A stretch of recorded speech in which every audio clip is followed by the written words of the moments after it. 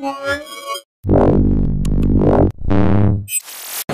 tablet we have up is from one of our partners in Taiwan called Quanta. This is a dual core Temash tablet and what's unique about this tablet is that it can run without a fan. So even though you're running Windows 8 Pro so you get a full Microsoft experience, all this is done on a dual core fanless design that's less than 10 millimeters thick.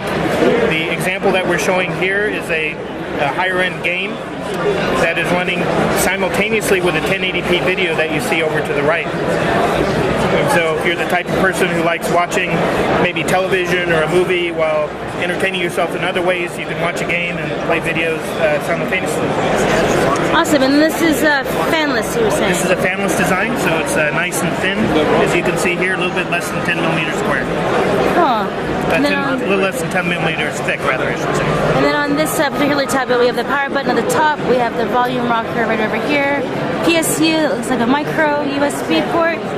Some ventilation there on the side. It looks like. and then those are speakers. All right. Then we have a mini HDMI as well. Awesome, looking really good, guys. It's a mini it's mi- micro HDMI. Yeah. There we go. Perfect. And there's a camera on the back.